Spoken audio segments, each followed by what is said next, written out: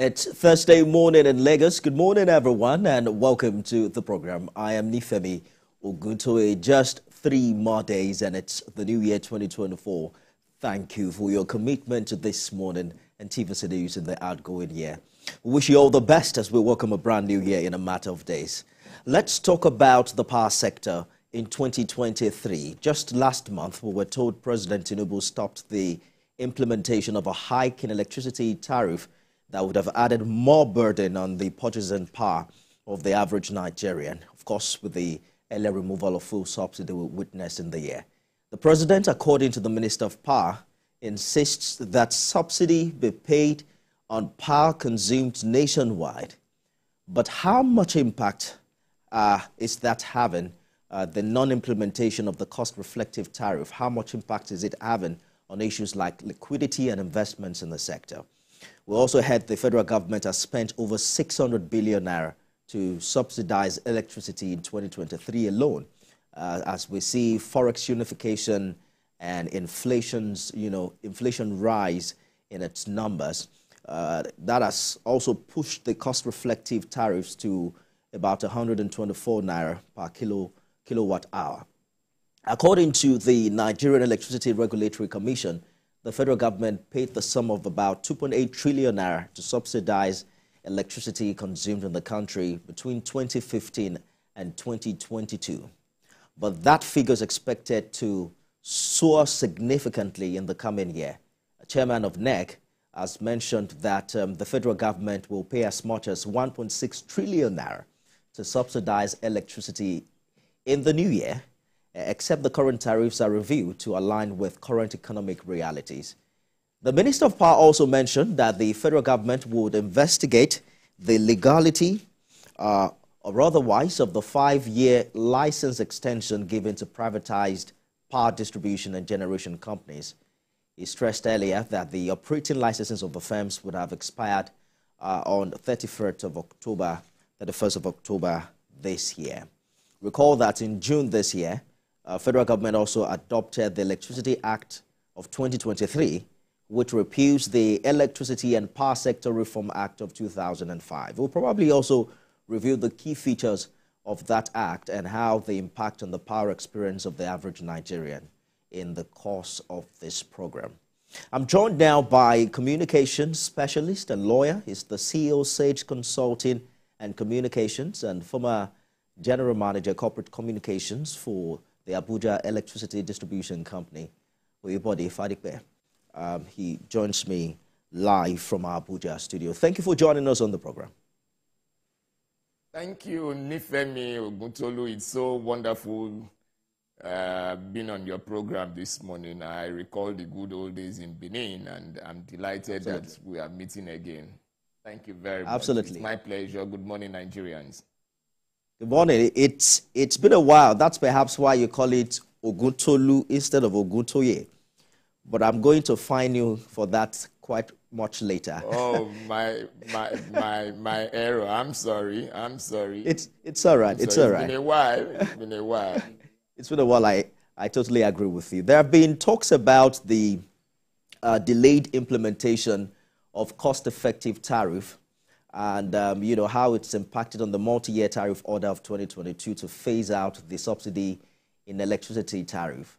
But you know what? That doesn't make any sense to Nigerians, especially those who already feel the heat of the removal of fuel subsidy. Perhaps we should begin from there. Uh, uh, uh, the, the, the issue of subsidy in the power sector is one that uh, stakeholders are really worried about. And it's important that we get the, the, the discussion uh, spelled out properly. Now, what, what is subsidy in the first place? Uh, of course, we all understand it to mean the payment of the difference between the true cost and the allowable cost. I mean, uh, every adult in this country and even the young boy on the streets has acquired knowledge about that fact as a result of what we experienced in the uh, petroleum sector uh, uh, upon the inauguration of Mr. President, the first thing he said was that subsidy is gone.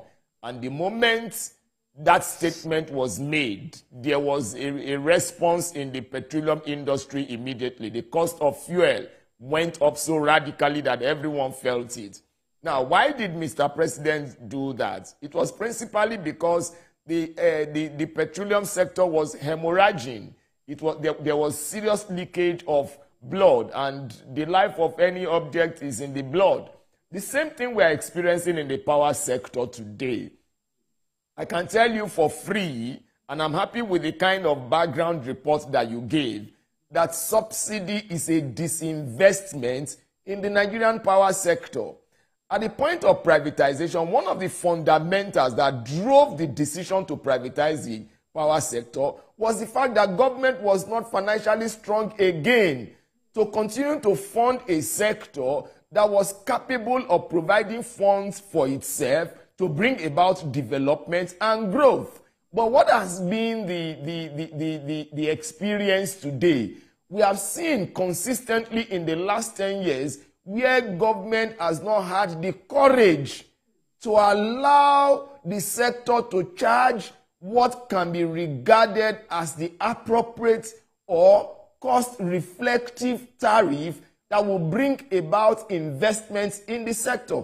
And so you see a sector that is supposed to be a catalyst for economic and social development struggling to survive because the liquidity problem is still there. I mean, you just mentioned it that in 2024, we are likely to see government subsidizing uh, electricity with as much as 1.6 trillion naira. I mean, that's not. We'll get to the details shortly, uh, Mr. Fadipe, particularly what you call the liquidity crisis and, you know, how much impact this is happening on the business, so to speak. But are we considering the economic implication of having Nigerians carry the burden of the cost reflective tariff in the new year, because that's perhaps a concern of the average Nigerian watching this show.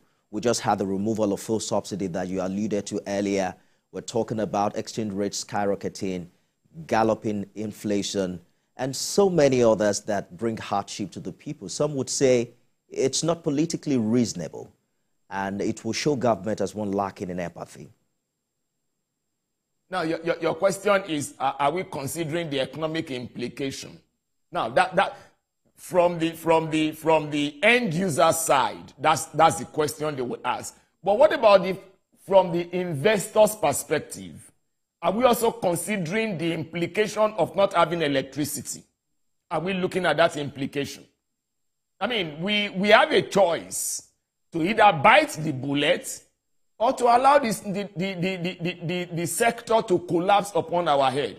I remember uh, some few months ago, if not from last year up till this year, generating companies came out to say NBET, which is Nigeria Bulk Electricity Trader, was owing them as much as 1.6 trillion. And that if that money is not paid, they can no longer guarantee power supply in the country. Transmission may not have said what the sector is owing it because transmission belongs to the federal government. But discos have also expressed their own concern about the fact that what is being recovered from the customers or the end user is nothing close to what they ought to get. And that's why they can also not service the, the, the other, I mean, pay back to the market operator what they are supposed to pay back. So Going by your question, are we considering the economic implication? I will tell you very clearly, my brother, that to consider this matter from that perspective is also to say that we don't mind not having electricity in this country. And that is even much more disastrous than considering it from the customer side. Why? Because manufacturing will go down, cottage businesses will go down, unemployment will skyrocket, social problems will rise. For instance, crime will rise. Can we accommodate that? We will stretch our military. We will stretch the police. We will stretch the DSS. So many things will happen. So, what is, I mean, which one do we prefer? To allow people to pay more and be able to, I mean, allow the sector to survive, or to continue to ask governments to provide the subsidy that it cannot provide, which I call the Santa syndrome. The Santa syndrome is a syndrome that allows one person to consume an item and another person pays for it.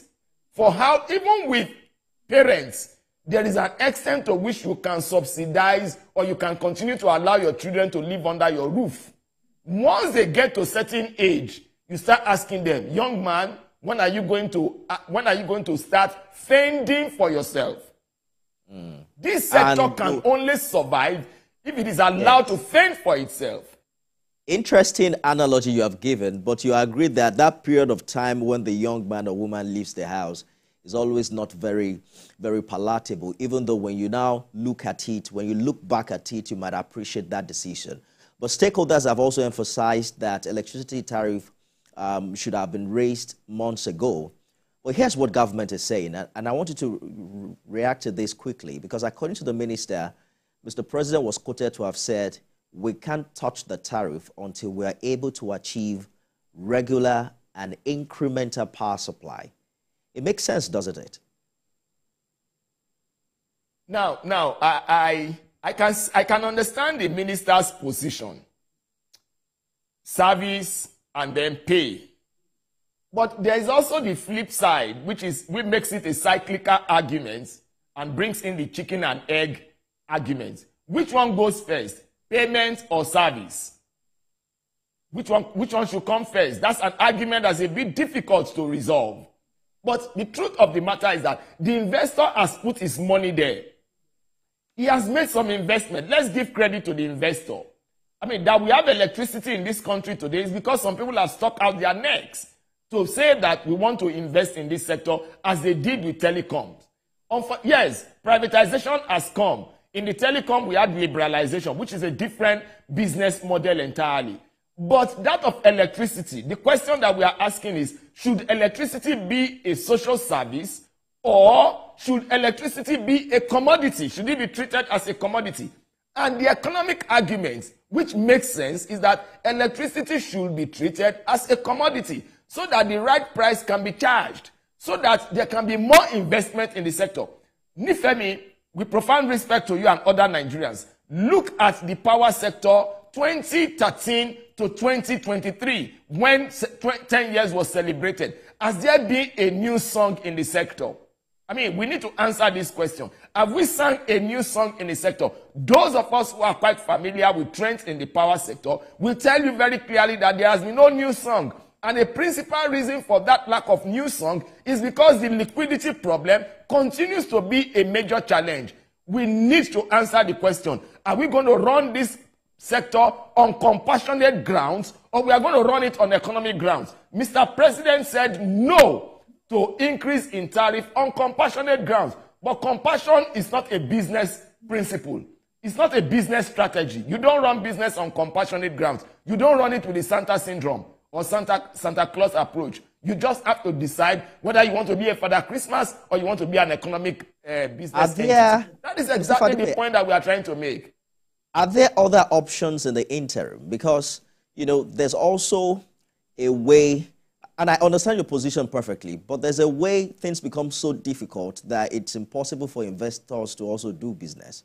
And that's perhaps the angle from which government is looking at it from you know, this, um, this, um, uh, uh, uh, this, is, this is supposed to have taken a new dimension in June or July thereabout, and government may have, to, may have thought that it was too early given the removal of fuel subsidy. But there's also the advocacy for the pricing of gas utilized by the GENCOs uh, in Naira to allow better management of uh, the foreign currency related inflation that we've seen in the sector.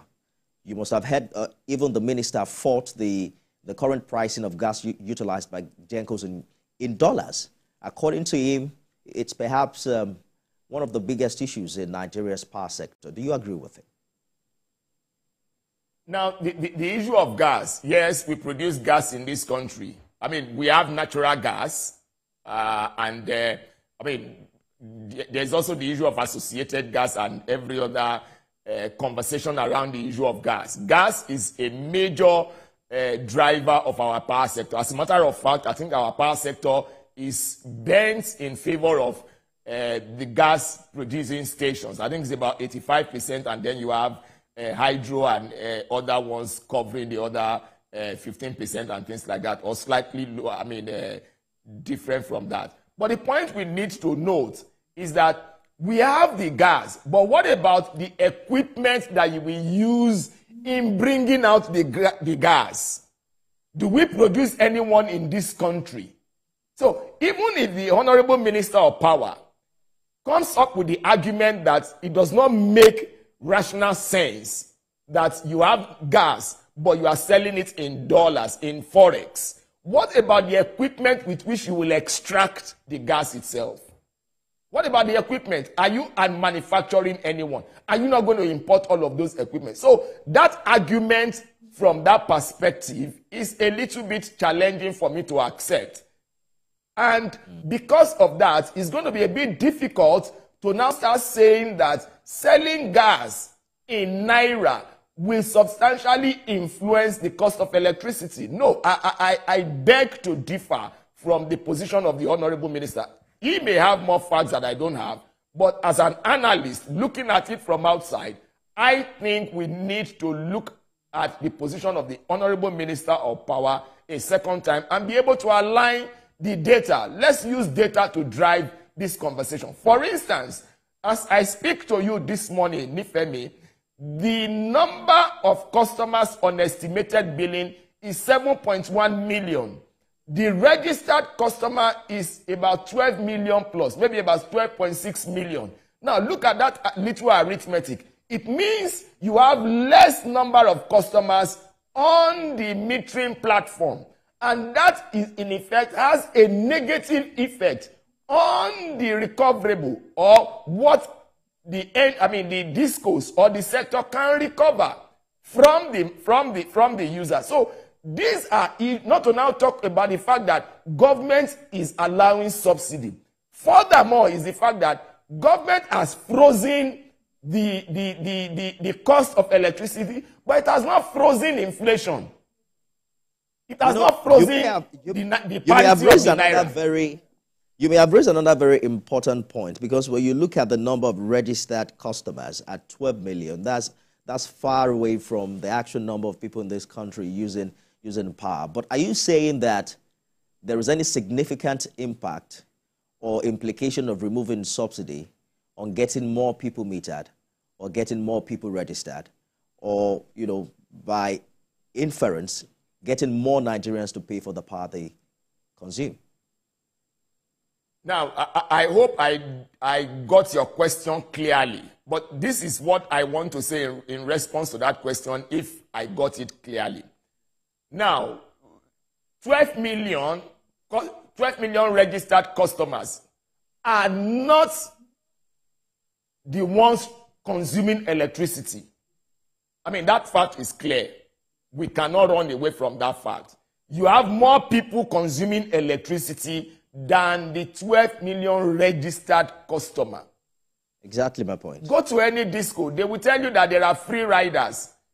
They will tell you that there are free riders, and they, they are doing, I hope and believe that they are doing everything on a daily basis to bring in the free riders so that they can recover more. But guess what? The more people they bring in, the more the subsidy level will increase. Because the more people you bring in, more people will be consuming power. There's no doubt about that. Or put in, in another form, more people are consuming power now, but less people are paying. So that means the, the, the subsidy is still going northwards. It's still on the rise. So when you solve metering problem, hopefully in the shortest possible time, and we are able to reduce subsidies substantially. Because in the first instance, let's even ask our, ourselves this question. Who is benefiting from this subsidy? Is it the poor or the rich? Is it the poor that is benefiting from this subsidy the, or the, the rich? The idea of the multi-year tariff order of 2022 is such that discos that are in you know highly urban centers are allowed to charge tariffs uh, near cost reflective, you know, tariffs. And then discos that are in areas with low income consumers are allowed to charge lower um, allowed tariff. Uh, uh, that, in a way, ensures that um, they get more of the subsidy. Are you, are you saying that is not the situation as we speak? No, no, no. That's, I, I'm not saying that is not the situation. But over a period, since that 2022, there has been a movement more in the direction of discourse in the urban areas favor i mean the, the, the, the, subsidy favoring them. And that means it is those who are well to do that are benefiting from the subsidy. That's just the logic of that position that you have raised. And it is very very clear. They consume more of the energy. I mean okay for instance I think the last calculation by the regulator, and we must commend the regulator for, for getting to that extent. The last calculation by the regulator was that if you charge the true cost, electricity is likely to be about at least 100 naira per unit. But what you are charging currently is about 50% lower than that 100 naira, slightly above 100 naira per unit. So there is a huge gap that the rich is benefiting from. Meanwhile, even the poor themselves, they are not getting the supply. Now, the second argument is this. Even the poor that we are trying to defend, they are also saying, give us the electricity. We will buy the one that we can buy and use it. They still use I better pass my neighbor. And, I'm, and I know that as, a, as, a, as an experienced journalist, you are familiar with the trend in their, in their better pass my neighbor uh, space.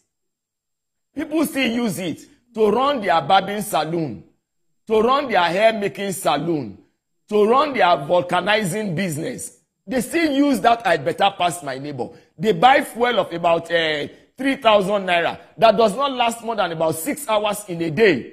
You cannot put your refrigerator on it. You cannot put your pressing iron on it. You cannot put your electric cooker on it. All of those ones are resting when you are using that I better pass my neighbor. But we are saying, and if you calculate I better pass my neighbor, it's likely to be about 200 naira per, per unit of electricity. We are saying, okay, move it a little bit further than where the tariff is now, so that you can recover more and be able to provide electricity for everybody. Is that too much of an argument to, to I mean, is that too much of a request to make for this market to survive? For this market to survive, is that too much of a request to make? I think we need, we need to sit back and bite the, the bullet. For once, let's bite the bullet. Inflation let is us, running very high. Let us also try to probe, you know, the subsidy regime as it is currently constituted. Some have raised the issue of the delay and bottlenecks, you know, associated with um, paying the electricity subsidy, uh, the slow cycle that you mentioned earlier.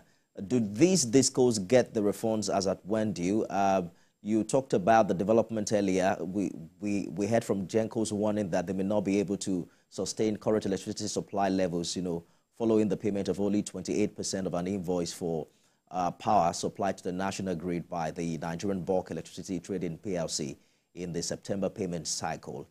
Do you think there's a sense in which if we get the monies to them early enough, um, it will resolve the issue of liquidity, uh, liquidity in, in the interim while we resolve and you know systematically remove subsidies, so to speak?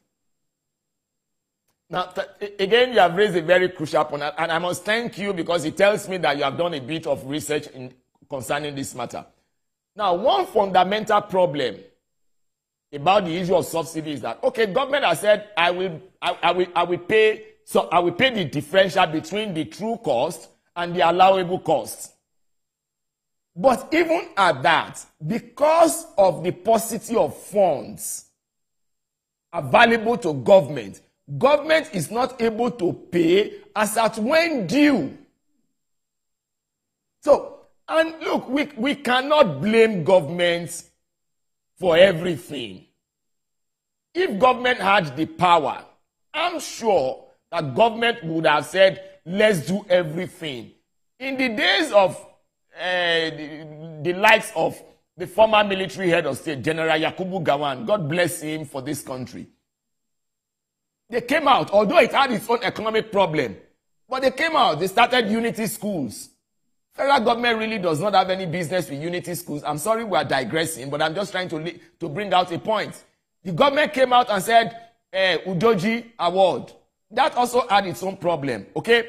But the point I'm trying to make is that when government had the energy, the financial muscle to do all of those things, government went ahead to do it. Now that government does not have the energy to do it, it is not only it is not only uh, making a promise, it is making a promise that it cannot fulfill. And when it is able to fulfill it, it's not fulfilling it at the right time. Because there's supposed to be a right time when the subsidy is supposed to be, to be paid to the market. So that they can, I mean, look, look at what happened in Damaturu recently in uh, uh, Northeast, where some, some vandals pulled down transmission uh, tower there. The people in that place need electricity. If there is no money to do it, it means that they will go and borrow. At what cost? There is a cost attached to funds. So all of these things are very, very crucial to the survival of the market. And one of the number, one of the principal things is the economics of power supply, the fund to drive the system. Investors want to come in, but when they look at the numbers, they look at the return on investment. It is better for capital to go to a different place capital or money can only gravitate towards the place where there is value. If there's no value for money, if there's no value for capital, capital will move away. And that's exactly what we are experiencing in this country today. Mm. Very interesting development, and government hasn't shied